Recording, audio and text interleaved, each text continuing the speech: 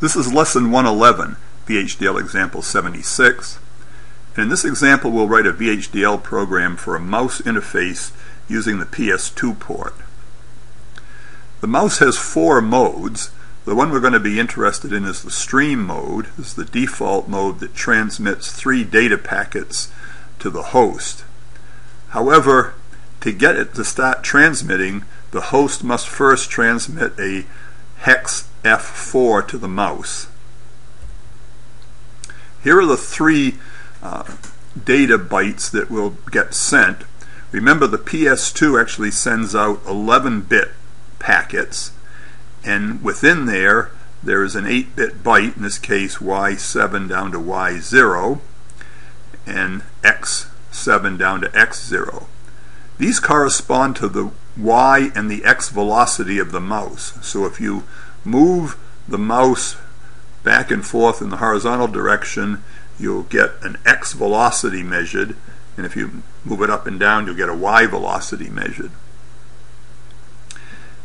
They can be signed numbers depending on which direction you're moving, and the direction you're moving is determined by these two sign bits, which will end up in shift 3. So if you take YS and prepend it to Y7 there, and you take X uh, S and prepend it to the 8 bits of X, you end up getting a 9-bit signed number for each velocity. So this corresponds to data values between minus 256 and plus 255. If you move too fast, then you'll get an overflow bit set there in this shift 3 uh, data packet uh, these are the overflow bits for Y and the overflow bits for X. These two bits R and L will tell you which button you're pressing. If you're pressing the right button, this R bit will go to 1. If you're pressing the left button, uh, this L button will go to 1. Now as we saw when we looked at how to interface a PS2 port, if you want to send data out the PS2 port, or send the clock out, you need a tri-state buffer. And here's how we'll implement the tri-state buffer. We're going to need this because remember we have to send this F4 uh, byte to the mouse. So to implement a tri-state buffer, we'll define this signal, say PS2CIO here, and we'll set that equal to the PS2CIN when this enable is, signal is equal to 1 on the tri-state buffer. So if this is 1, then this output is equal to this input. Else, we want it to be a high impedance, so we set it equal to Z. Remember, Z is one of our standard logic uh, values, meaning high impedance. And we do the same for the data line, define PS2DIO to get PS2D in when the D enable signal is 1 else it gets Z, the high impedance. And then the pin numbers associated with the PS2 port that we've labeled PS2C and PS2D, we just set to this signal PS2CIO. Okay, recall this host device communication protocol. We had this back in lesson 109. And you remember the data is sent from the host to the, uh, to the device by reading on the rising edge of the clock. So the way this works, if the host wants to send a byte, this data byte, it first brings the clock line low. It has to hold it low for 100 microseconds. Then it brings data line low. And then it's going to release the clock. Remember, it does that by the C enable signal. And then it's going to enable this, its data line so it can send the data but now the clock comes from the device. So this tells the device to send these 11 clock signals, in which case the data is sent from the host and the device reads them on the rising edge of the clock. Then after the device reads the 11 bytes, it brings the data line low.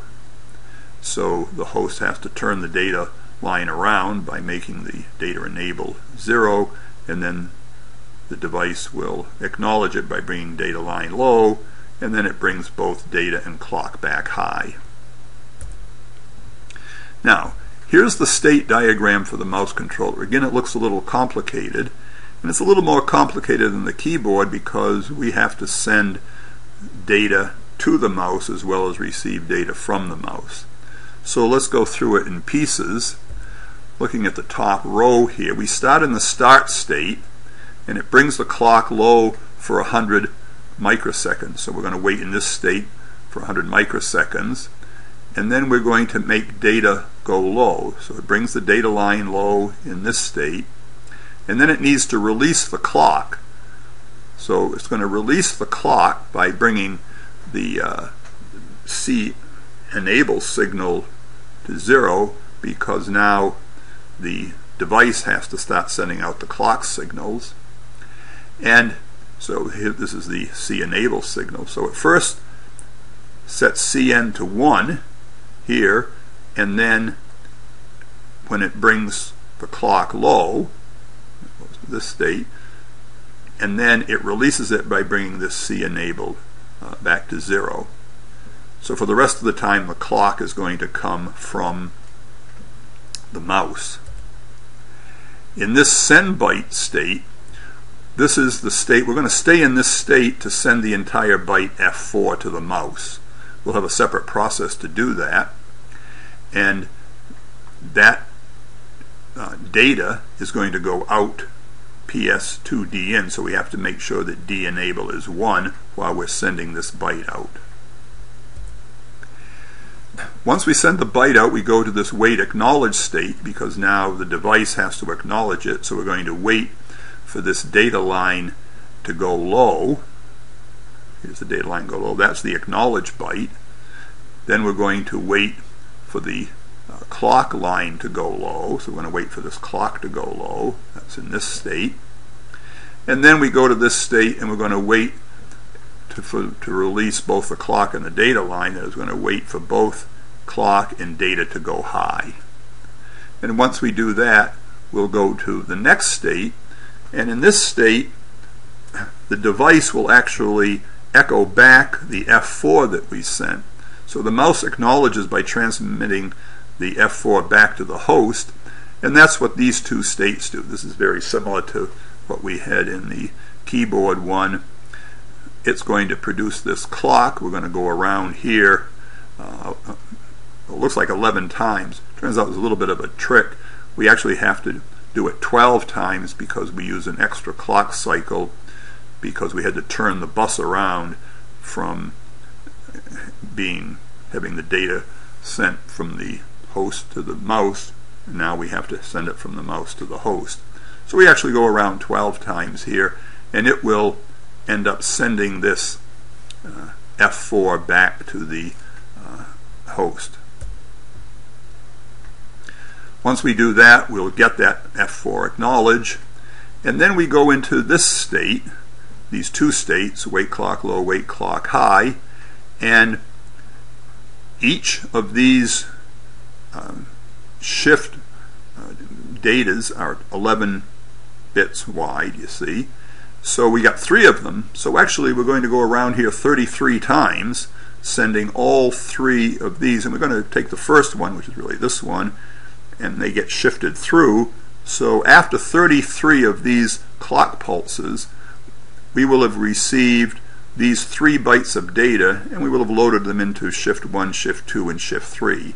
This one will contain the y velocity, this the x velocity, and this the data with the sign bits and the button pressings.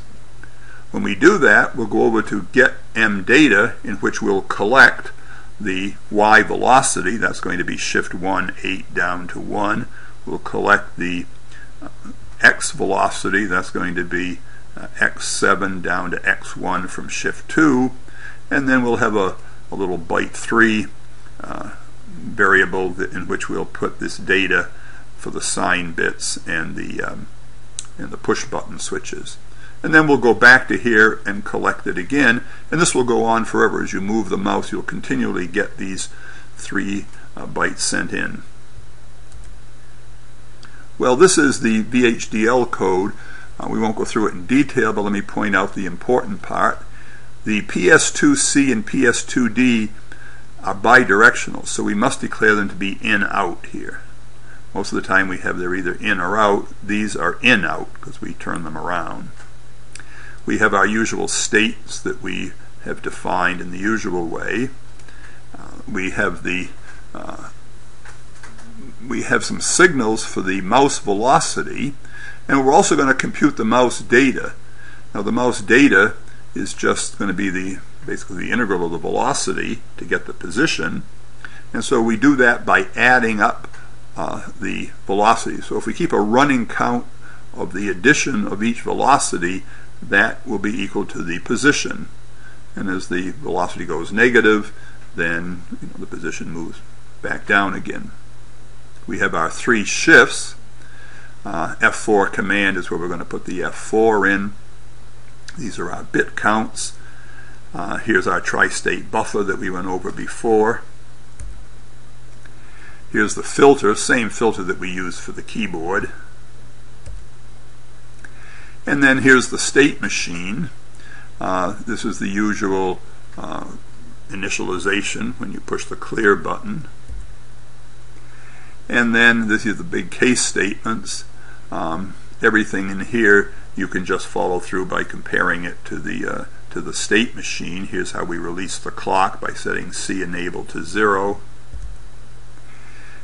Now in the send byte, we set the send flag to 1 before we enter this state, and then we count, there's a bit count that we're keeping track of, and we'll see the process, separate process in a minute that will actually send this byte. And when we get done, we'll set the send flag back to 0, and then we go to the wait acknowledge and the wait for clock low state, and then we wait to release both the clock and the data, and then we go to the wait clock low, wait clock high. We go around here, remember 12 times in order to get the acknowledged byte FA back. Then we collect it, we get the velocity, make the shift data in the get acknowledge, and then we go to this wait clock low, and here we're going to go 33 times. This bit count 3 is going to be 33. So we're going to go between here and the wait clock high 33 times. And when we do, we will get the x velocity data out and we'll put it in x mouse v. And byte 3 is going to contain the data for the uh, sign bits and the overflow bits and the push button bits. Then when we go to get m data after every 33 times, we'll compute this distance. Uh, so this is the position data. We just take a running count. So we start with this at zero and then we just keep adding each time uh, the velocity data. And so the next time around we'll add it to the running count of the distance. So x mouse d and y mouse d will contain the xy positions, x mouse v and y mouse v will contain the velocity data. The uh, here's the process, by the way, that sends the uh, F4. We set it equal to F4 here. Here's the F4. We have to start with the stop bit and parity bit because we're sending at least significant bit first. You see, we actually send out 10 bits here. So that's how we send out that uh, F4 in the send byte uh, in the send byte command.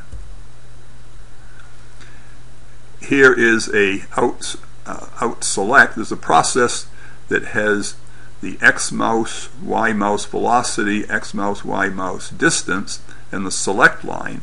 So if the select line is zero, the output is going to be x data and y data. This is the output from this controller, and it will contain either the velocity data or the distance data, depending on the value of select which will be an input you can set to whichever you want. So if you want to get distance data, you set select to 1. If you want to get velocity data, you set it equal to 0.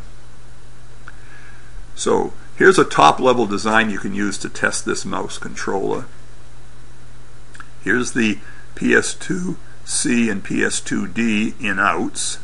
And we have the usual M clock buttons, LEDs, and the 7 segment display outputs. And we will set X mouse, which is a 16-bit data, that we're going to display is going to be the X data 7 down to 0 concatenated with the Y data. We'll display these on the 7 segment display. So the first two digits will contain the X data and the right two digits will contain the Y data. And then on LEDs 2 and 3 we will put the uh, right and left button. so if you push those and then the sign bits which is X data uh, these are the most significant bits of the 9-bit sign data we'll put in LD 0 and 1 and then we'll just port map it the clock div. So when the mouse control will connect the select input to button 0 so if you're not pushing button 0 you'll see the velocity data on the 7 segment displays and if you push button 0 then it will show you the distance measurements on the 7 segment displays. So this is the mouse controller. In the book there's another example of using this mouse controller to move the sprite initials that we had back in lesson 106 and you could use this mouse controller to move any sprite on the VGA screen, uh, including the one you had for the block ROM. So if you made a little picture of yourself, you could move it around on the screen using this mouse. So this concludes the lessons for this book. Good luck in writing your VHDL programs.